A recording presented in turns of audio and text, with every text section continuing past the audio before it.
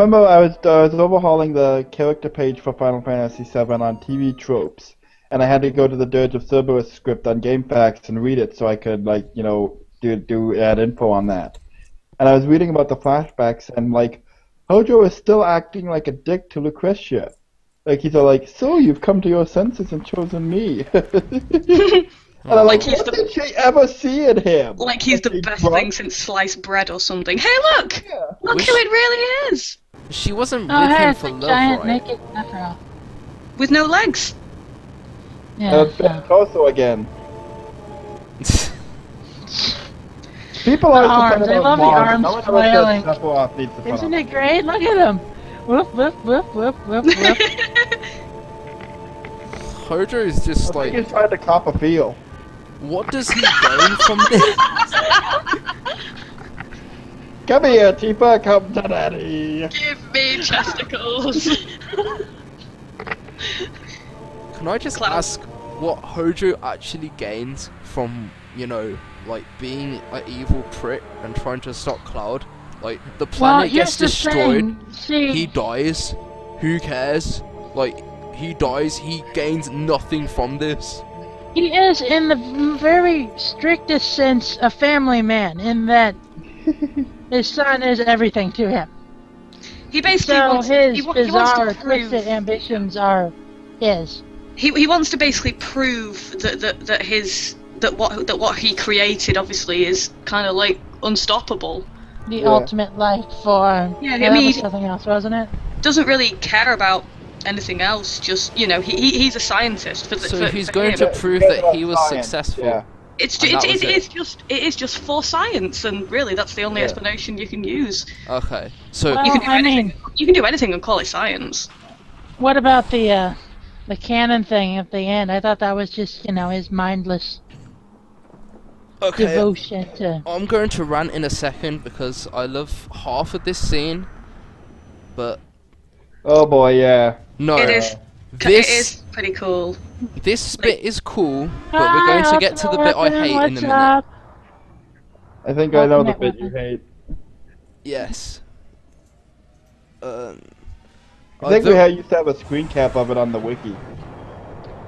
I'm not that sure right I'm following there here. Let's. is the most stupid fan service that FF7 has ever done. That is the most Ever? stupid fan service ever. What does that add to the Wait a scene? second. Whoa, whoa, stop a sec, stop a sec. I thought you hated superlatives.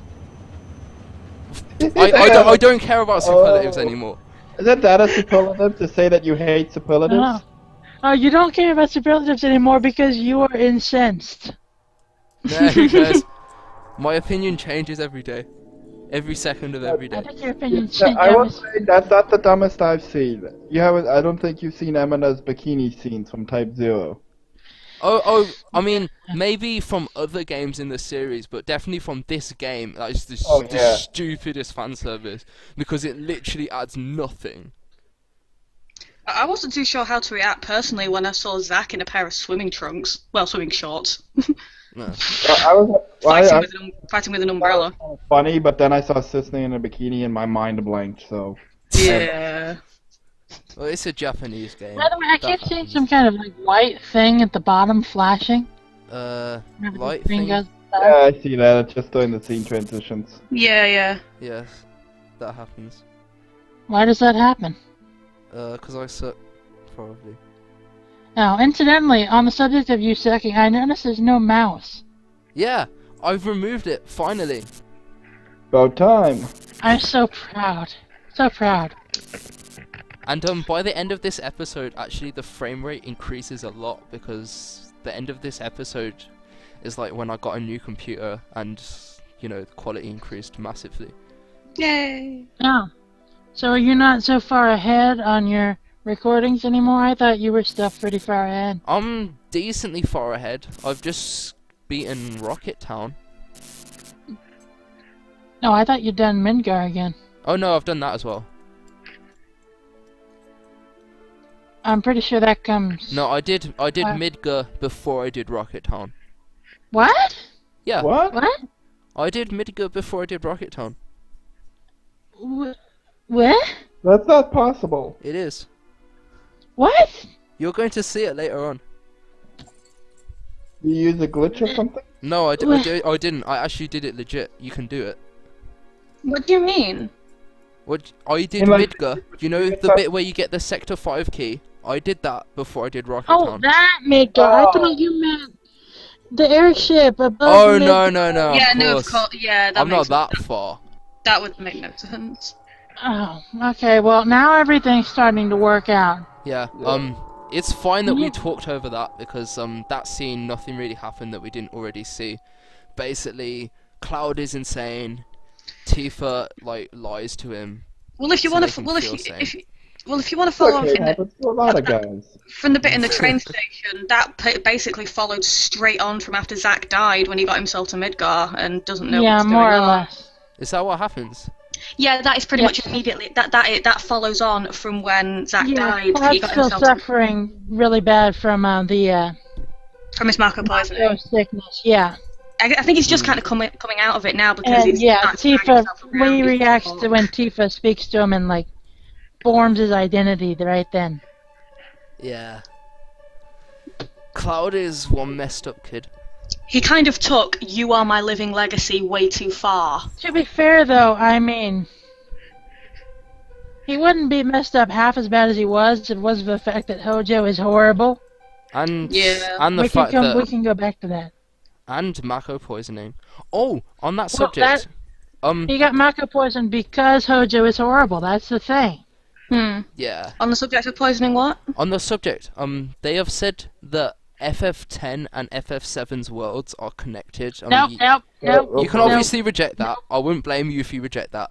But Mako poisoning, and I've been recently replaying um FF10, Mako poisoning and sin toxin, pretty similar. Not entirely. Mako poisoning puts you basically in some sort Into of. a It, could, it puts you into a into a.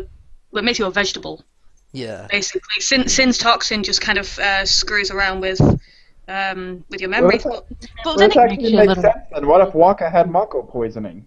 but that that just made him racist.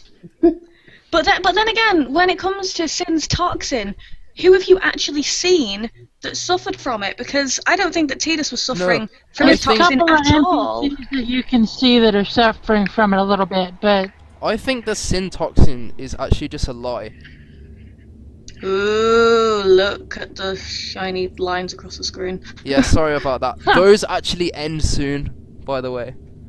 This is Oh, the last at that. episode with those. because you got a new computer, I take it. Yep. I figured that might be related. Yay! So now you get to play as Tifa. Is this like This is my of this favorite scene. This is my to? favorite this quest like thingy. Your fantasies. well, I wouldn't go that Since- far. But Since I bought Summon Meteor, I want to bring something up that I done a my user page post about this. Mm. How we know materia works is materia metaphysically interacts with the Lifestream of the planet to do things. So that Mm-hmm. said, where I, I found myself asking, how can materia manipulate a meteor in space? Well, it, I'm just going to be theoretical here and say it's possible that the black materia is not the same or at all related to the materia that of would this. Like, could it be a materia from, say, another planet, perhaps, or the something? theory I had was, if what if it's from like, because Genova came from a meteor? Yeah, what if it's it's Right, like- exactly. With, Yeah. Geno- with Genova being a traveller between planets, it's highly likely she could have brought, th- you know, she, she could have brought this in her in her system, maybe, or it was formed when she crash landed uh, on Yeah, Sigara. and you ancients never really dealt with know. Genova, so it would make sense that they would seal away the black materia because, well, Genova. Have you noticed the quality increasing? Oh, it's not a Um, subtle Entirely. difference, but meh. Oh, well. I, I Anyway. still see a little bit of lag. This quest is my favourite in Seven Story because it focuses on Barret and Tifa, and they are my favourite characters. and you get to manipulate Tifa's individual body parts. And you see how incredibly limber and flexible she is. Look what I can do, Cloud, and yet you still won't touch me. nice. Well, Cloud didn't get to see it, so you know. Uh, Techno, have you ever seen um uh, I can't remember the guy who did that. He um made a video like um Aerith's guide to scoring to scoring guys or something like that. Uh, no, I haven't. Uh, I'll link it to you after this. It's like she's Yeah. talking. What are you doing? guy- Barret? No. I'll, I'll have a look. Yeah. I Well, like she's talking. Scarlet. Very... Smack. Oh yeah. I'll, t- I'll show you after this. Alright, sweet. Could, Yeah. could, could, no- could, could nobody see Cait's head right in the middle of that? Cait Sith's. Yeah, I was gonna bring that up, but they were busy, so I didn't really get the No, chance to. when I when I played it in the original, like, cause I didn't hate Cait Sith in the original. Like, I still I don't hate him that much. I just think his storyline is shit. But um, like- Shin regards your incompetence knows no bounds. No bounds. I mean, like, I was I didn't actually notice that. I thought, oh, that's a geezer. Who cares? Or whatever. And then when he suddenly comes out here, I was like, oh shit, that's actually pretty neat. Yeah, it looks like he's some sort of like Palmer grew a beak or something. Is what it looks like. He looks headless, like, and then you realise there's a head in, his, in the middle of his chest. This is the closest Cait Sith ever comes to redeeming himself. But What about it. when he sacrificed himself to summon the black materia? no, that oh, was what just... about when he tells Yuffie to shut up and Advent children? Okay, Lassie, shut That your was gob! yeah, that, that, was that like, was I good. think, probably one of the best lines in Advent Children. Lassie, shut your gob. Uh, shut your mouth! Uh, Isn't that what he says? Shut your mouth? I think he Okay. said he said he says gob first, and then he says moose because he's got a very very strong Scottish accent. Um, Yeah. Tia, because you've actually Can you played imagine Dirge of living with that Cerberus. through the entirety of Final Fantasy VII? Like somebody must want to like slit his throat in his sleep or something. If he, they could actually do that. what was that? Nothing. No. Um, sorry. So I was just saying, um, like because you've actually played Dirge of Cerberus, uh, does his, Uh huh. does Cait Sith have the same voice then? Exact same voice, yeah. Um, but he operates entirely on his own. Um, he doesn't have his Mog with him. He's not riding on Oh, Nanaki. yeah. He seems to he seems to act completely independently of Reeve. Um, I mean, there's a part where you can play as him temporarily, and he's awful, and all you can do is sneak around because anything kills uh, hits you and you're killed. But Nah. yeah, um, it's it's That quite sounds accurate to the original game. it, it's quite fun actually. So sorry, um, Jim Cloud, you were saying something earlier. I actually have no idea what I was saying earlier. Oh, cool. I I missed Yeah. that before. I hate this broad. Hey, I can't believe that got into this game. Actually, hmm. Is that not is that so bad, really? well, no, it's just not the sort of thing I'm used to hearing from Final Fantasy. From Final Fantasy. uh, that's fair, but I mean it is catchy, so yeah. Yeah. Well, little bit. Mm. oh, Cait Sith is basically they just used the dumped idea from Celeste again, and that's basically who he is. Yeah, but Celeste isn't funny.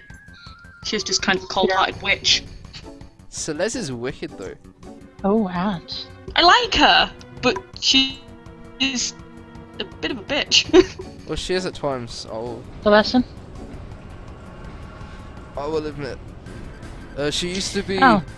She used to be. See, my- actually, Sorry, go on. What I had to say was way less important. This always reminded me of Metro Quest.